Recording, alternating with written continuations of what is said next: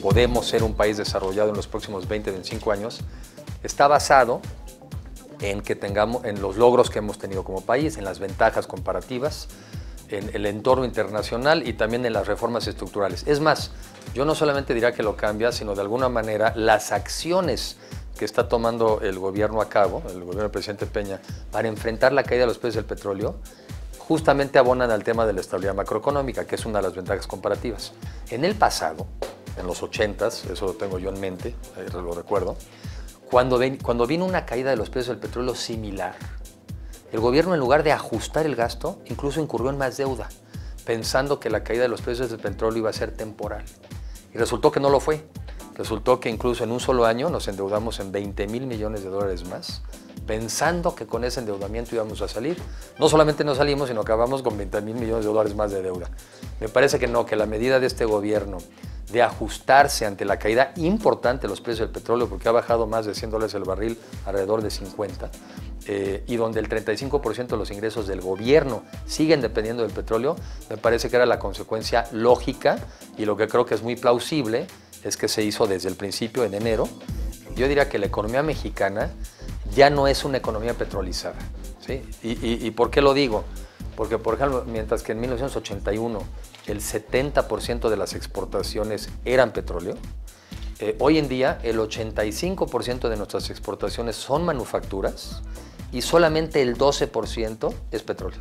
Entonces, primero, yo creo que sí hemos aprendido como país a, a, diversificarnos, a transformar nuestra economía, a que la economía en su conjunto no depende ya del petróleo y lo que no se ha logrado diversificar ni ser menos dependiente todavía son las finanzas públicas, que yo creo que ese ya es momento y este ejemplo nos lo vuelve a evidenciar. Ahora, en la reforma fiscal eh, y energética que se hizo justamente ahora en las reformas estructurales, justamente ya empezó también ese proceso de desvincular y de tratar de, de recibir menos ingresos de Pemex, pero por otro lado, pues tratar de compensar esos ingresos a través de más impuestos cosa que siempre genera reacciones, eh, que siempre reacciona, genera crítica, pero justamente va en el movimiento y en el sentido de que las finanzas públicas sean menos dependientes del petróleo. Pero yo sí diría y reafirmaría que la economía en su conjunto ya no es una economía petrolizada y hace mucho tiempo que dejó de serlo. Yo creo que le puede pegar eh, si no encontramos mecanismos eh, creativos para compensar ese gasto público que se hubiera hecho. Pero creo que sí hay forma de compensarlo. Un ejemplo, recientemente estuvimos visitando la refinería de Salina Cruz, que por cierto creo que es la refinería más importante del país y explica prácticamente el 27% de las gasolinas que se producen en el país. Ellos tenían un proyecto muy importante de reconversión de la refinería para sacarle más provecho al combustóleo y producir más, más gasolina en lugar de combustóleo. Bueno, ese proyecto lamentablemente es de los que se suspende eh, con el tema del recorte, pero si a cambio de eso encontramos sector privado que esté dispuesto a asociarse con Pemex, que ya lo puede hacer Pemex porque ya la ley lo permite, para que haya privados que le quieran entrar a ese proyecto de reconversión, compartir el riesgo pero también los beneficios, no tendríamos por qué suspender esas inversiones. Y así lo mismo pasan en otras áreas de Pemex, por ejemplo, necesitamos más gasoductos o necesitamos más bodegas para más almacenadoras.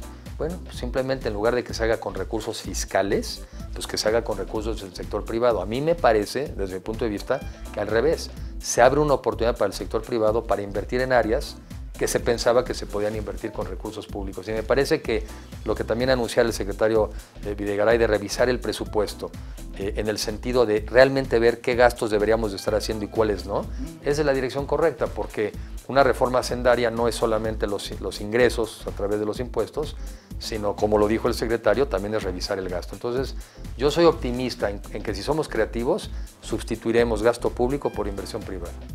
Los ingresos del gobierno federal, que también caen porque Pemex aportará menos, compró una cobertura para, para que justamente la diferencia entre lo que va a recibir y lo que hubiera recibido a precios del petróleo, creo que 73 dólares el barril, eso es lo que compró en la cobertura. Otra es la discusión de si esa cobertura también le aplica no a los estados o municipios. Pero a Pemex no le aplica. A Pemex que vendía barriles a 100 dólares, ahora los vende a 50. O sea, a Pemex se le caen los ingresos a la mitad. Y como una empresa ahora productiva del Estado, Pemex tiene que guardar un balance. Para que ese balance se mantenga, Pemex tiene que bajar sus gastos. Por eso es que Pemex planteó a su consejo una disminución de 60 mil millones de pesos para, para hacer frente a esa disminución. Ahora, ese es un tema de que tiene que reducir sus gastos. Otra cosa es que Tomos Pemex se financia. Dado el presupuesto que sea, se tiene que financiar. Y seguramente salió a los mercados para endeudarse para el gasto que tiene que Tomos llevar a cabo. Eh, entonces, eh, creo que las dos cosas son compatibles. Ahora, evidentemente, en la medida en que sus gastos los pueda disminuir, pues quizás se tenga que endeudar menos, pero Pemex de Tomos acude a los mercados para financiarse.